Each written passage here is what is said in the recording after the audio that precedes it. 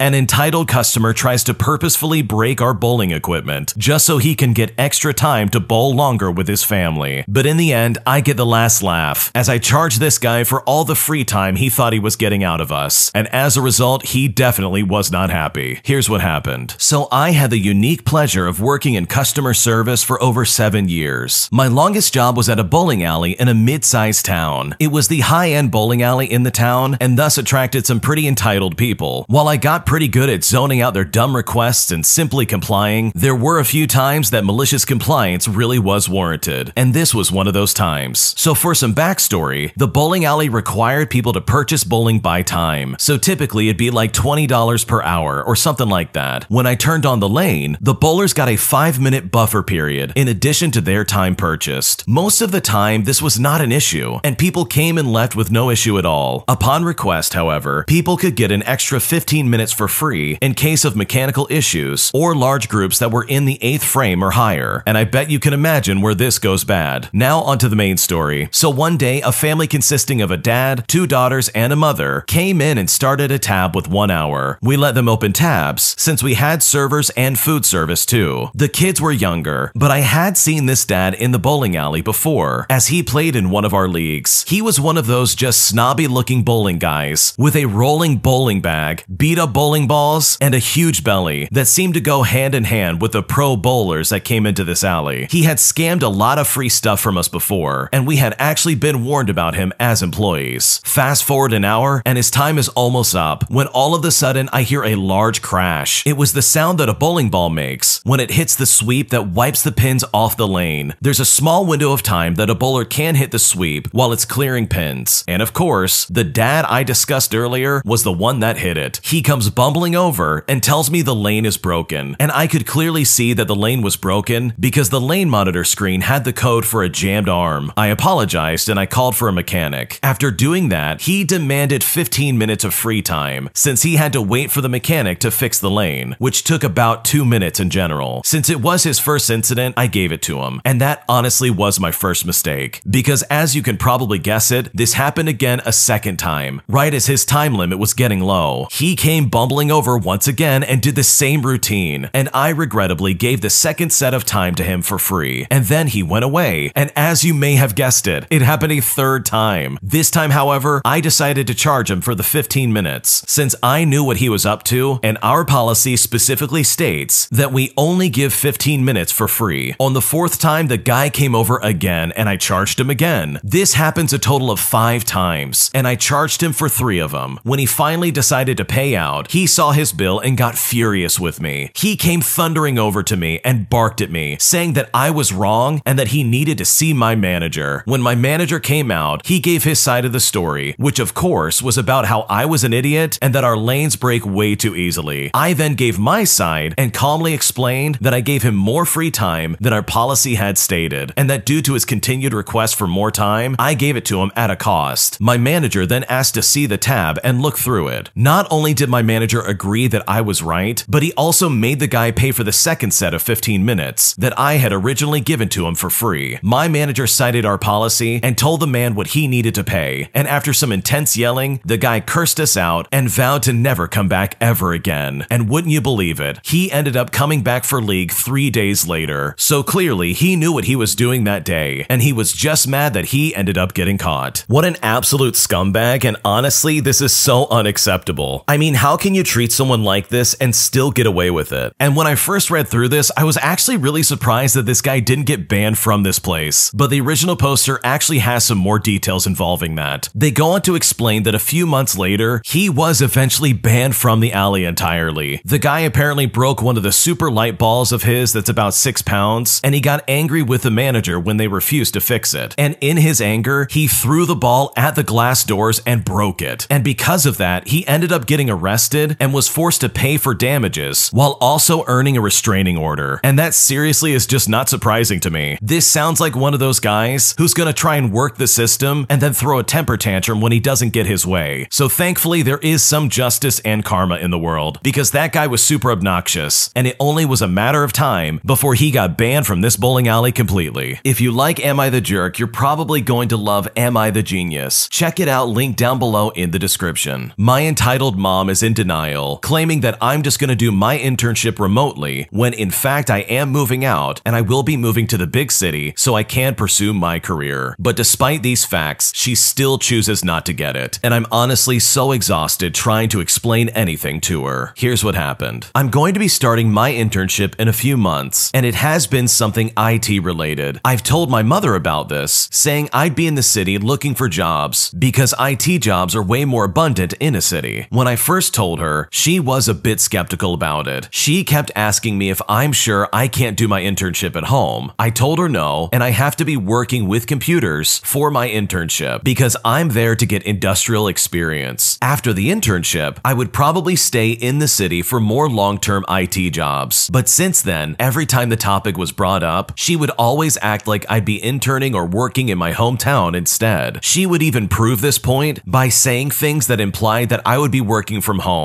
instead of working in this city. And I would always correct her, saying it is near impossible to find an IT job in my small hometown away from the city. And just because someone else's daughter was able to find an accounting job there doesn't mean I'm going to have the same opportunities with an IT job, let alone a decent one where I can get some industrial experience. Now, when I told her that, she responded by saying, Yes, but as long as there's a computer, it's IT. And when she said that, I just did the biggest facepalm. She wants me to work in my previous office job in my hometown as a data entry clerk. The pay was decent, and I was able to give her some of my pay to help with groceries. But I suspect the real reason she liked it when I worked there is because the boss of the company is incredibly rich and gives out free stuff to women and elderly people during special holidays. As an employee of the company, I get to take home a lot of free goodies for my mother, which she was really happy about. I didn't really care about that stuff that much. I just needed the money to go to university. I also got the hint that she doesn't want me to quit that job when I wanted to switch jobs to do something I'm more passionate about. So I'm telling her that I'm not going to graduate with an IT degree and work in the same place before I went to university. I need to find IT jobs in the city. And she kept saying the same thing over and over again, as if she didn't understand what I just said. She just loves to reply with some kind of contrary statement, as if the point that I've just made meant nothing to her. Trying to tell her no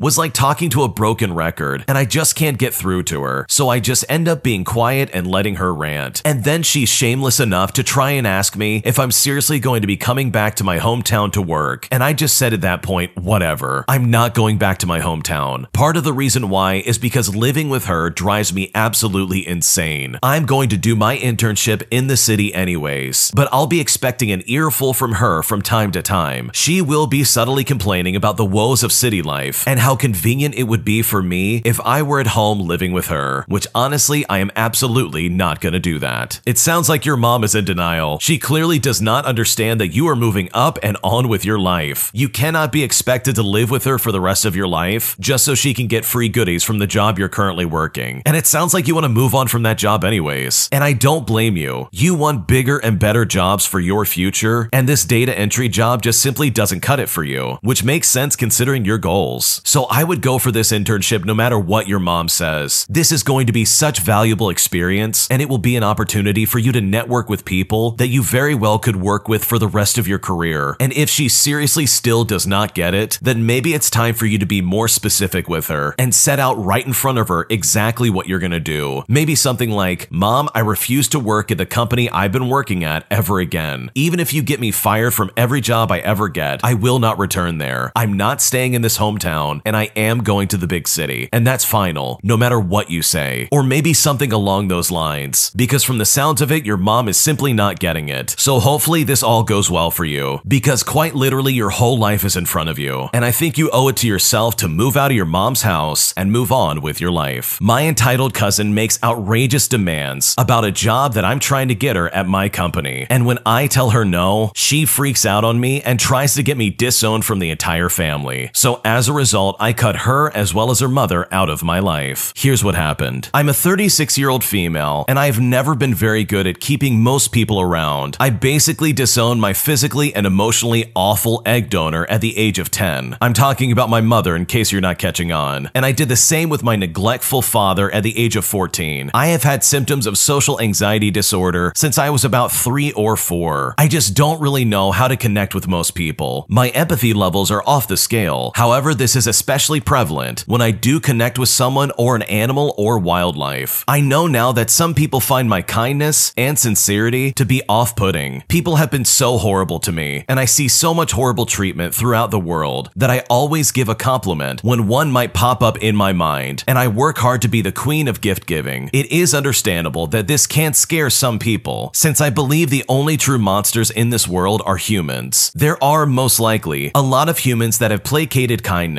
and have been looking to manipulate or to do harm, but I am not like that. I go into overdrive trying to help the people I care about when they tell me they are in a bad situation or if they just might be unhappy. A few years before COVID, during Thanksgiving, my cousin, who was in their mid 20s at the time, let's call her Tony, that's not her real name, was constantly complaining about how much she hated working as a caregiver. She would talk about how little money she made and how financially strapped she truly was. My family is mostly on the poverty scale.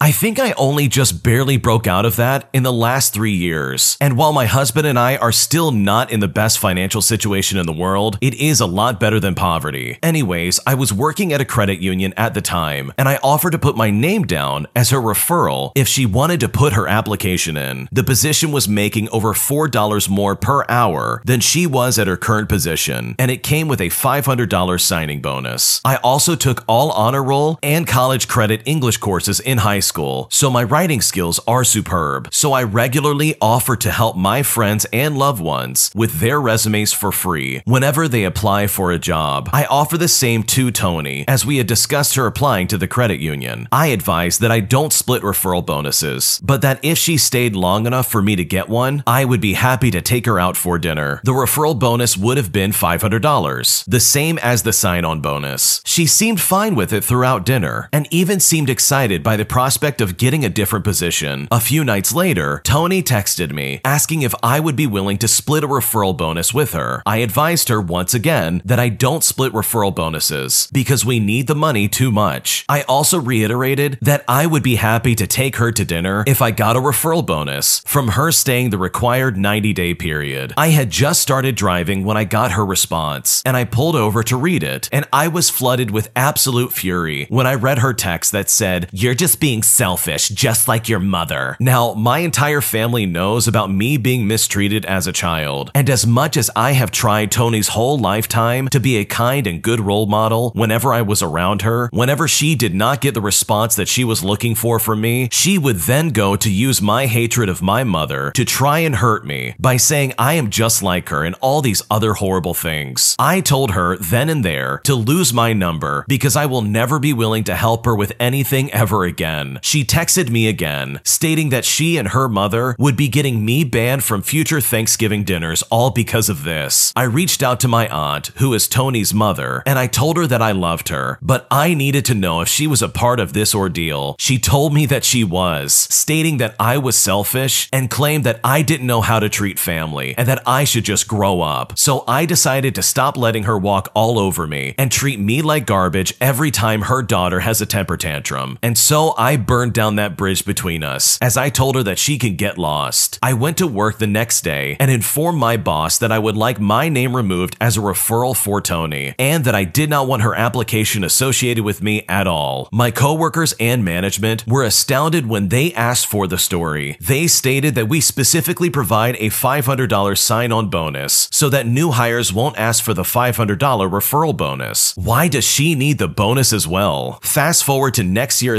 Thanksgiving, and my husband and I were fighting to get our car unstuck from the snow. Tony and her boyfriend came out onto my other aunt's porch and just laughed and mocked us the entire time. And my sister was upset when she found out. She said I absolutely should have interrupted her dinner to get her help. Neither my sister nor I speak to either this cousin or aunt anymore. Now, my grandma raised me since I was 14 years old, and my grandma warned me during high school that my aunt was not my friend and that I shouldn't fool myself. Presumably because of all the horrible things she said about me behind my back to my grandma. I know my grandma was just trying to protect a broken child from even more harm, and I wish I had been smart enough to listen to her at the time. But yeah, I used to always wonder if anybody could ever love me, since the people who were supposed to love me the most obviously didn't. It took so very long for my husband to break through the persistent thought process of mine and teach me that I didn't have to continue to allow allow people like my aunt to treat me so badly because I didn't realize I don't deserve to be treated like garbage, especially by somebody who claims to be my family. I am amazingly lucky when it comes to the people I do have in my life. Quality over quantity, I guess. I am not very good at keeping most people around, and I have made plenty of mistakes in my life. But for this story, I stand completely by my behavior. My life is better and less stressful without toxic family members that constantly either treat me badly or make passive aggressive remarks about how I have lived my life and have disowned my terrible parents. If you have a toxic family that makes you feel bad no matter how nice or good you are, try to remember that you are worthy of better and strive for a different environment. This life has continually showed me that if you are depressed and you wonder if the world would be better without you, trust me, cut the people whose words constantly hurt you, those who believe you are worthless, and change your environment. I know life is not always kind, and that may not always be an option, but definitely try. A content life is so much better than a life where you consistently want to end your existence because toxic people have convinced you that you are worthless. They are wrong. Be kind to that lifelong friend in the mirror. Look your friend in the eyes when you look in the mirror and say kind things in your mind. It has taken a long time, but I will attain self love and I recommend it for all. There's some good lessons to be learned there, but most importantly, if someone's treating you like garbage in this way, then seriously, you are not the bad person for cutting them off. I mean, the original poster here is obviously a very kind individual, and they were just trying to help out their cousin, who clearly was in some kind of need. And for them to act like that when they weren't given exactly what they want, even though what they wanted was absolutely ridiculous and not possible, is overall incredibly toxic. And the fact that they would then take this out on the very person who's trying to get them the job in the first place is just proof that they are not a good person in the slightest. And I don't blame the original poster for cutting them out of their life. I mean, seriously, who would want someone like that around who's gonna put you down and try and take advantage of your kindness? That's inappropriate and nobody deserves that. So good for the original poster for trying to preserve their own personal happiness. Because at the end of the day, when all else fails, truly all you do have is that person in the mirror. And just like the original poster said, I really do agree that you need to be kind to that person, especially when everybody else around you decides to put you down. My boyfriend of seven years is requesting that we take a one year long break so he can figure out what he truly wants out of his life. And I'm honestly so appalled and I simply don't know what to do. So my boyfriend and I have been together since we were about 20 years old. And for the most part, our relationship was pretty good. We can communicate pretty well our wants and needs. So it's been a very healthy relationship overall. A couple of days ago, I noticed that something was bothering him. So I asked him what was going on. He said he doesn't feel as good as he used to. He's not okay with where he is now in his life. He doesn't like his job, his economics, or basically his life in general. The only thing he said is good in his life is me, and that doesn't make him feel fulfilled. We've been talking nonstop this past few days, while also shedding many tears. At the beginning, I was scared because I didn't want the relationship to end. But the more we talked, the more I feel I don't deserve this situation. I know that this is not a me problem, but instead this is a problem with him, his life, and his goals. I can't think for him and I cannot be happy for him. I'm exhausted at the end of every conversation as he ends up telling me that even though he wants to discover himself, the only thing he is sure of is that he doesn't want to live without me. But then the next morning, he wakes up confused with what he really wants in his life. He's come up with this idea that maybe we could take a one year long break so he can try and find himself and then come back to me. And when I heard this, I was honestly stunned. I honestly think that's awful. And I told him that I love him so much, and probably in a year I will still love him the same, but I don't deserve that. I won't be sitting with my arms folded just waiting, and I will probably resent him a lot, so that won't work for me. If he stays, then he stays, and I will commit to work things out in therapy. But if he does leave with the expectation that he can just have me back in a year, then it's done. Our relationship is over. He said the most important thing for him is my happiness, and I deserve a concrete answer of what his choice will be. But he wants time to think about it and is requesting about a month to think about it. But now I'm asking myself, what do I want? Honestly, him pulling this stunt destroyed what little trust I had in him in the first place. So I don't know if now I should leave or if I should stick around. What What should I do? I think this sounds absolutely ridiculous. This guy wants a one year break from the relationship and just expects you to sit around and wait for him to get his stuff figured out. What he is asking for is a break, but in reality, he is breaking up with you. He is putting on hold your relationship just so he can figure out who knows what. And that's not fair for you in the slightest. And if I was in your shoes, there's no way I would put up with that, not for a second. So you know what? If he wants to be free, let him free. And that includes him taking a month to figure things out. There's no reason for you to be left in limbo and try and figure out what he wants out of his life. Because clearly, even though he says, oh, your happiness is all that matters to me, his actions and his attitude are saying something different. Like his logic just doesn't make any sense. His life sucks, so now he's gonna get rid of the one person who makes his life a little bit better. I mean, that's honestly just so counterintuitive, it's not even funny. So hopefully, for the sake of your life and what you want out of this relationship, you put yourself first and figure out what you want with your life. Because waiting a month or even a year for him to figure out his is only a waste of time for you and something that I consider, in my opinion, something that's not worth your time and not something that you should wait on.